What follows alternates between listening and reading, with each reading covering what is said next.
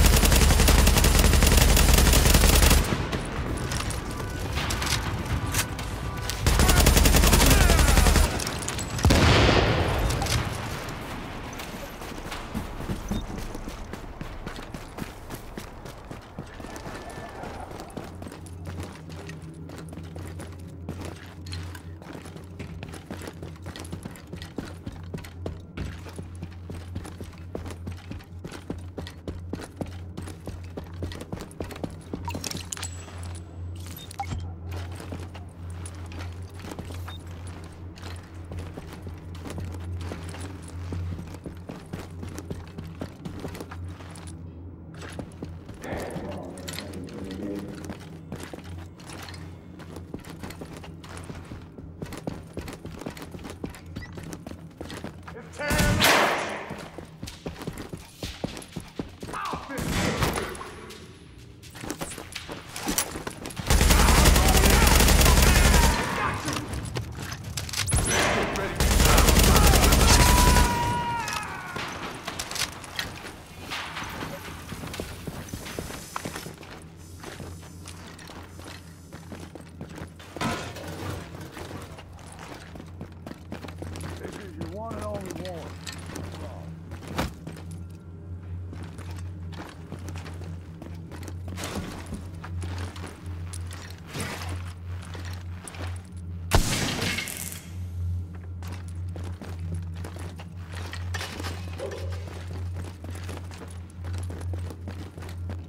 This